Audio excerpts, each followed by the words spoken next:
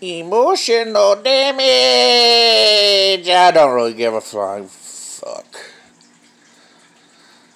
It's come to my attention that somebody wants to try to drag me into some bullshit, but I don't really give a shit.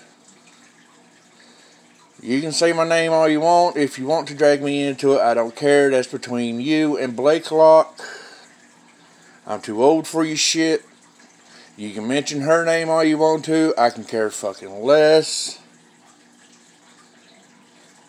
You're not going to get under my skin. You're not going to piss me off. You're not going to bother me at the slightest. I can care fucking less. I'm too old for you damn bibble babble, childish fucking fighting bullshit. I don't care who started what.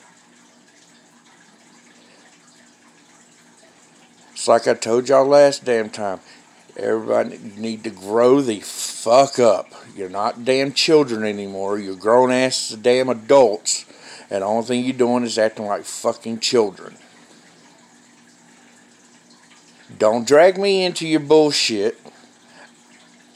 Like I said, I can care fucking less. If you want to take shots at me, do whatever you want. I don't care. My best advice to you is don't waste your fucking time.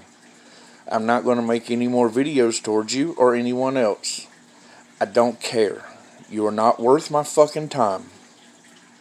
I have better things to do. So until y'all can learn to grow the fuck up, shut up.